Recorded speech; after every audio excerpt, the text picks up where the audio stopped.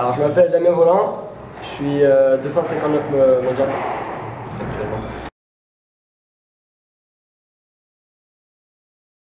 J'ai commencé le squash à, l'âge de 14 ans. J'ai choisi ce sport car, euh, car mon frère tient, tient un club de sport euh, à Lille. Alors mon but pour, euh, pour cette saison, ça serait de, de rentrer dans le top euh, 150 mondial euh, d'ici décembre. Et mon but ultime, euh, euh, rentrer dans le top 3 français adulte et rentrer en équipe de France senior. Et euh, sur le circuit PSA, top 10 euh, PSA. Euh, une famille d'accueil en or, euh, plus vieux et très accueillant.